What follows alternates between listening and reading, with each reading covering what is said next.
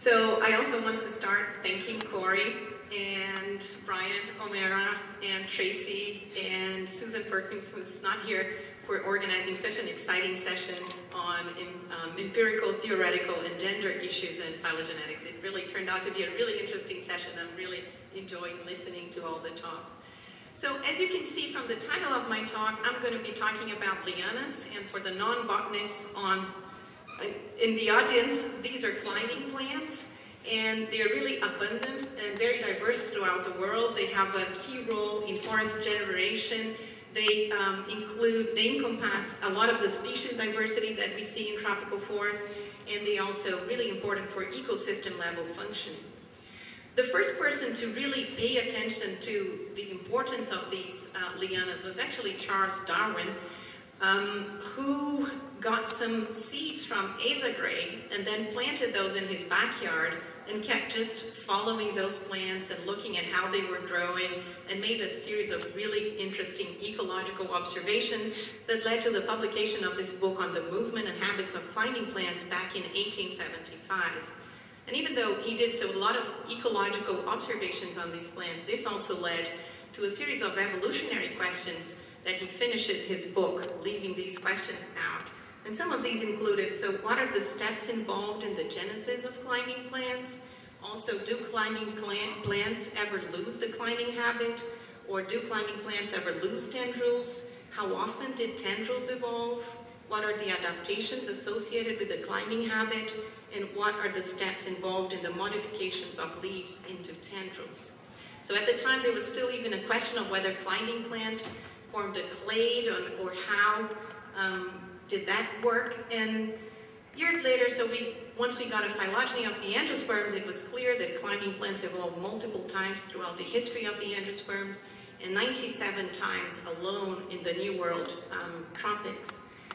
Um, one thing that is really interesting is that even though there's so many evolutions of the climbing habit, only a few lineages actually diversified.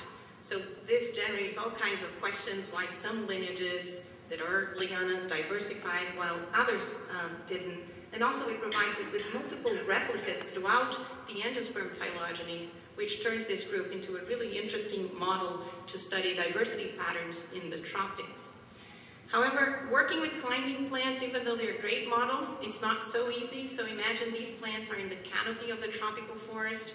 So they're growing 40 meters above the floor so you can take like up to a whole day to collect a single specimen and things like that. So actually, in order to study these climbing plants, we need to focus in particular groups so we can gather really nice um, um, data sets before we can start making comparisons across the angiosperm um, phylogeny.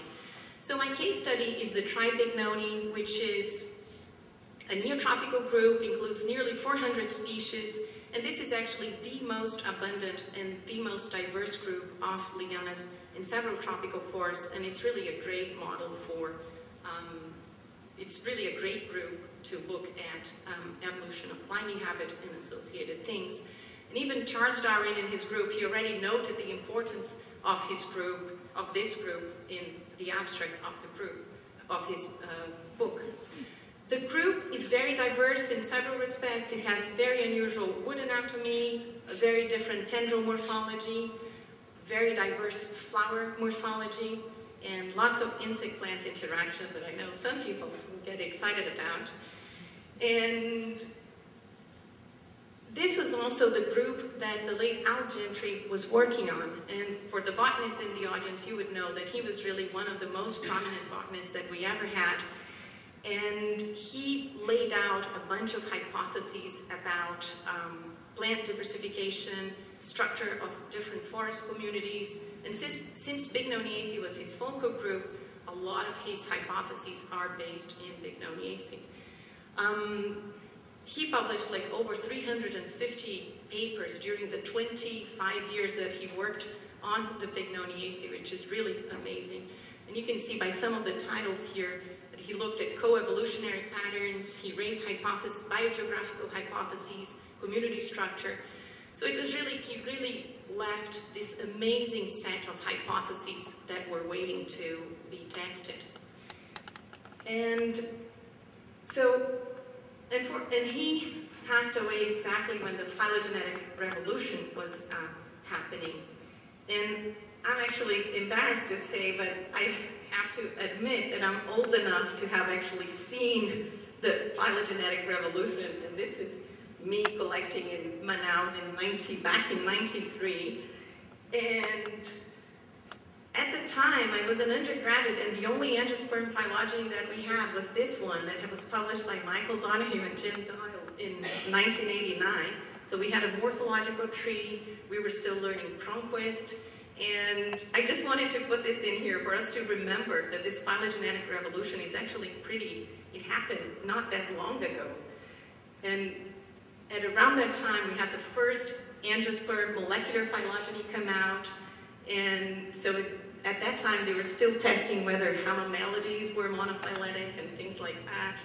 And it was only in 98 that we had the first phylogeny published for the angiosperm by the Angiosperm Phylogeny Group.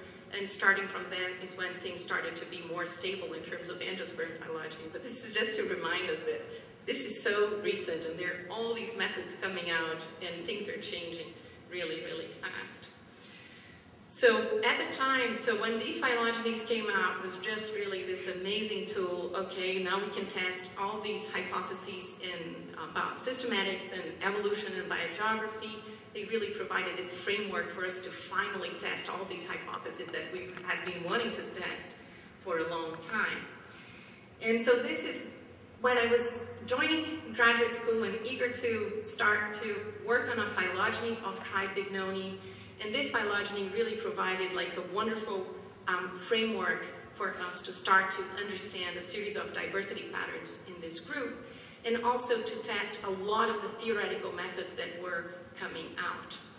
So this phylogeny first provided us with a general view of geographical patterns in the group. So we could see, for instance, that the group originated in the Atlantic forest of eastern Brazil at around 50 million years. And then we have a major radi radiation in Amazonia, occupation of dry areas of central Brazil at around 30 million years, several reoccupations of the Atlantic forest. Um, this tree also provided us with the basis to establish a new generic classification for the group. So until then, we had many different systems, lots of things changing in terms of the classification of the group, and people couldn't reach a um, consensus on how to um, organize this complicated group. And so this phylogeny provided us with the basis to um, reorganize the classification into 21 monophyletic clades that are all diagnosed by good morphological features and provided the basis for a series of other um, taxonomic studies and which were all informed by um, uh, phylogenetic relationships. So it really helped us to solve these mysteries that had been going on for a long time as well as allowed us to get a good understanding of general patterns of morphological evolution. So for us, for those of us working on, so doing empirical studies, this breadth of methods and is just like a feast, uh, trying, allowing us to test these different hypotheses. So what I'm just going to do now is just to kind of walk you through some of the hypotheses that we were able to test using these uh, phylogenies, using um, and applying different kinds of uh, theoretical methods. So for example, we were, so these are lianas, and as I said, they have this very specialized wood anatomy, and what is particularly interesting here is, again, for the non-botanists, you might remember that plants have a cambium that produces phloem to the outside and xylem to the inside. And in this group, we have a series of phloem wedges that are present in equidistant portions of the stem. And in some other species, we have like multiple phloem wedges and, and others even more complex systems.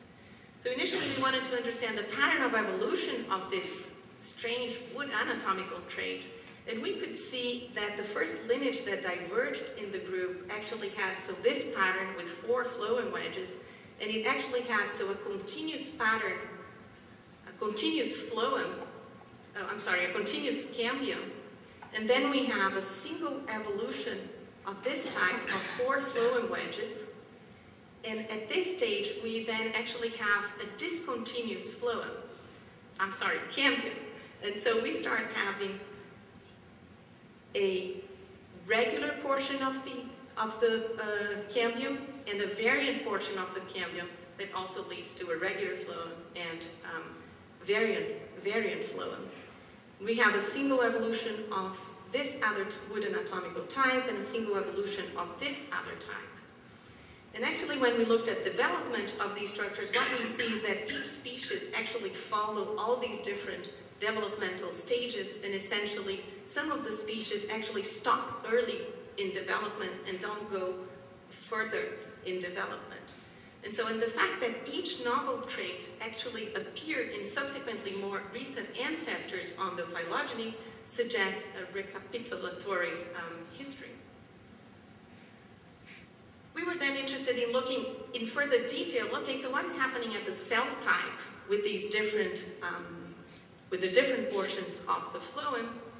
And it turns out that the variant phloem is mostly composed of very wide sieve tubes and of high concentration of fibers, which means that these variant portions of the phloem actually have much higher conductivity and mechanical support, while the regular portions of um, the phloem actually have much more parenchyma um, and a higher number of wider rays and tiny sieve tubes, which actually leads to redu reduced conduction and higher storage capacity.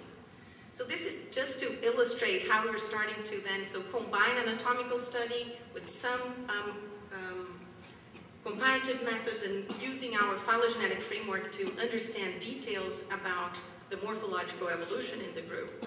And we went on taking a look at many different morphological traits. So for example, in the case of tendrils, we saw, we first reconstructed the condition, the pattern of evolution of tendrils in the group, and then we could see that the ancestral condition were trifid tendrils.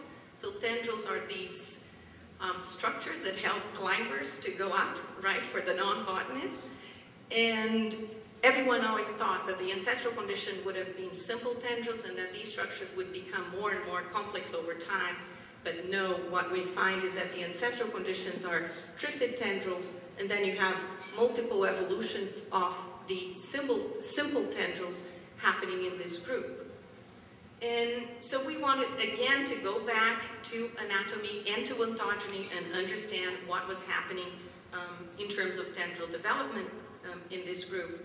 And what we did was to then study the ontogeny of a bunch of species that had trifid tendrils nowadays, but whose immediate ancestors also had trifid tendrils. And then we could see first that these species, very early on in development, they would develop trifid tendrils.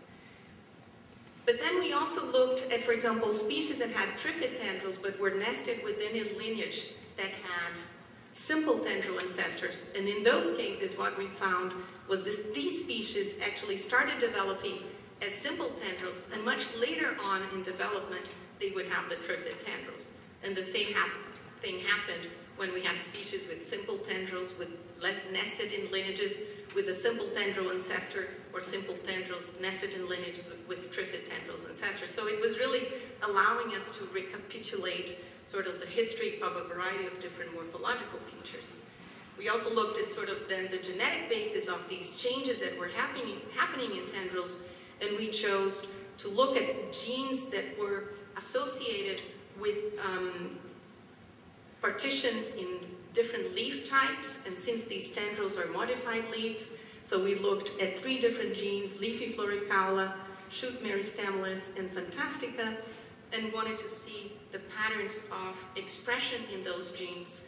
And what we saw was that um, shoot meristemless um, was expressed in the meristem exactly where new tendril branches um, would development would develop, and the overall pattern of expression of these three genes were associated with tendril uh, ramification and would also be more strongly expressed in the tendrils that presented the highest levels of ramification, which was similar to the patterns that we would see in partition of leaf development. So we were able to show that the same genes that were involved in, the, in leaf partition were also leading to uh, leaf, to tendril partition.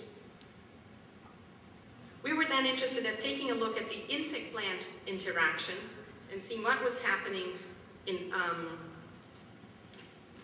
with those structures. So the first step was always to, was again to characterize these structures in detail. So we are always so we build the phylogeny, then we always like to go back to anatomy and really looking whether these patterns recovered with the phylogeny, we can whether these things recover, we can recover the same patterns with morphology. So the first thing was to characterize the extrafloral nectaries and see what these things were. And it turns out the extrafloral nectaries are actually trichomes, um, so epidermical structures, and there are three main different types. So there are non-glandular trichomes in those plants, and there are also stipitate glandular trichomes and peltate glandular trichomes. And the peltate glandular trichomes are the ones that are the extrafloral nectaries in those, um, in, the, in this group. So we then wanted to see whether the evolution of these extrafloral nectaries was also associated with changes in the selective regime and whether the evolution of these nectaries happened after the um, changes in different selective regimes. This is going back to some of the, um, so Jonathan Losos's and Alan Larson's predictions about, so what is an adaptation?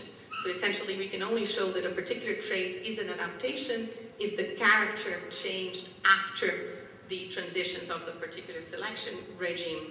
And this is exactly what we wanted to do with the extrafloral nectaries and see whether there were lots of changes in abundance of these extrafloral nectaries and see whether these things always happened after these transitions to different um, savanna environments. And what we found was first that there was high homoplasy in extrafloral abundance, which was the first step. We then saw that the changes in the abundance of extrafloral nectaries were indeed associated with the habitat shifts. And these results are, of course, so consistent with um, an adaptation um, hypothesis. So this was one of the first steps trying to show that these extrafloral nectaries were indeed um, adaptations. The second step then was trying to look at the extrafloral nectaries and seeing, okay, so do they really have a function to protect against herbivory? And what we did in this study was then so to characterize the composition of substances that were selected by the extrafloral nectaries. We then tested whether the extrafloral nectaries really attracted ants, and then we looked at whether the ants really presented a defensive role that led to reduced herbivory and increase in plant fitness. So we did find that the extrafloral nectaries um, presented a significant role in ant attraction. However, to our surprise, the ants were actually not found to protect plants against herbivore attack. So we were really intrigued by, these, by this result, and we thought, okay, let's expand our sampling. And so we did a much broader sampling in across the whole Espinhaço range, which is this region over here. It gets the states of uh, Minas Gerais and um, Bahia. And we sampled 10 different populations. And in those populations, so we quantified the amount, the abundance of the extrafloral nectaries on those leaves, and the impact of, um, well, then we also looked at the uh, community of ants that were visiting these extrafloral nectaries, and we also looked at whether these ants were really protecting those plants, and then we looked at whether the production of fruits and fruit uh, germination.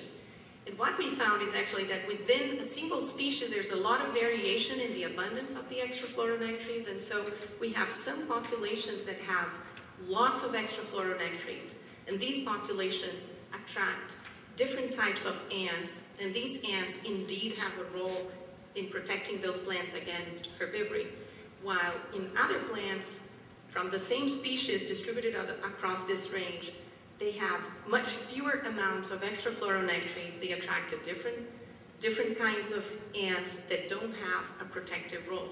So essentially within the same species, we have cold spots and hot spots. And with the in, with, in the in the hot spots, these ants really have a protective role, and in the cold spots, they don't. So this is very consistent with the geographic mosaic theory of coevolution, in which you have this variation within a single species. The next step then is, is to see whether these traits are heritable or not. And so we're conducting a series of common garden experiments, and we have all these plants growing, and we'll see shortly whether this, is, this trait is heritable or not. So we're also interested in, taking, in looking at the patterns of flower evolution, and then we, um, so we first started just doing a general study, looking at general patterns of evolution in discrete characters, and we found a lot of homoplasy in those traits. We then looked at patterns of evolution in some continuous characters, and what we found was actually pretty interesting. We found that within the more external worlds, so in calyx and corollas, we found that there was phylogenetic conservatism, in, while in the traits associated with the more internal whorls of the flower, so Androecium and Gynoecium, there was very high homoplasy. So essentially this says that a lot of, um, so the closely related species have flowers that have the same size, but actually the size of the internal whorls, Gynoecium and Androecium vary a lot, and this is probably what leads to um, um, isolation between these closely related species. So we then wanted to look at the evolution of all the flower as a whole, instead of looking at the individual traits and just looking at the whole thing to see what was happening, and looking at patterns of phenotypic integration. And what we found was that the flowers have a very similar patterns of variance and covariance among traits. We also found that the evolution of the flower morphology actually occurred through the evolution of magnitudes of correlations among traits. This means that stabilizing selection actually seems to have played an important role in phenotypic integration, leading to a long-term stasis of covariance patterns. And what we think is that so this long-term stasis in phenotypic integration is actually what allows us to distinguish patterns of formal morphology as distinct attributes of particular plant families. So this is probably, since there's a stasis in all the traits that are evolving in a correlated pattern, this is actually what leads us to say, oh, this is a Melastomataceae flower, a Bignoniaceae flower. So we found this for Bignoniaceae. This has never been tested for other plant families, but we assume that this is probably something that would be recovered in other groups.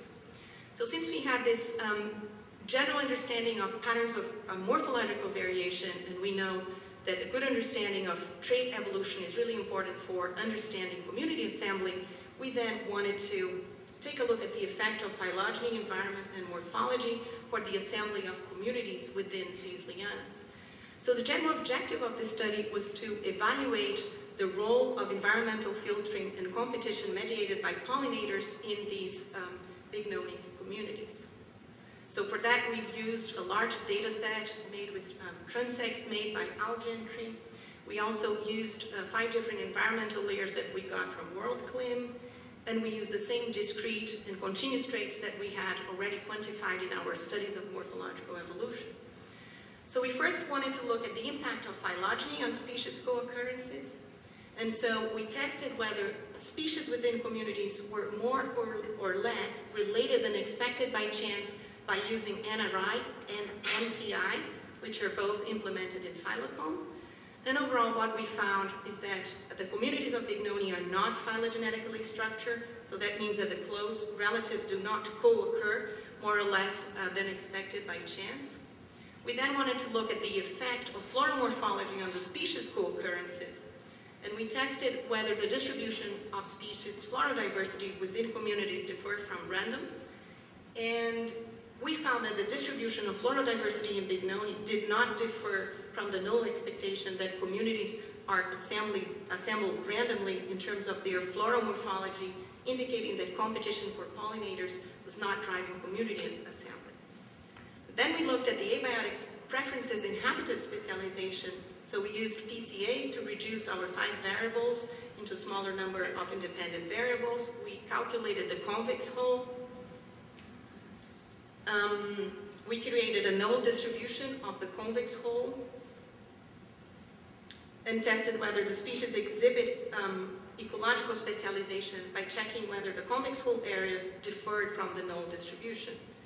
So what you can see here is that, so you see on, on the x-axis the number of communities with which a species were recorded, and then you see the convex hull distribution, this in gray, and you see the mean null distribution, and you can see that a lot of the species occupy these lower portions of the convex hull, which indicates that they have actually a narrower range of abiotic communities, abiotic um, conditions than they could.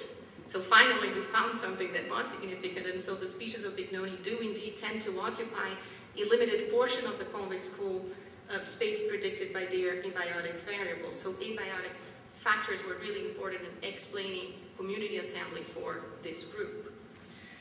So we had that one initial phylogeny that we used on all these different studies to understand patterns of morphological um, evolution, community assembly, biogeography, and, but of course, that phylogeny was no longer sufficient for us to answer a bunch of different questions. So now what we are doing is to focus on each of these different clades. I have a series of students who are doing monographs and phylogenies for each of these 21 clades.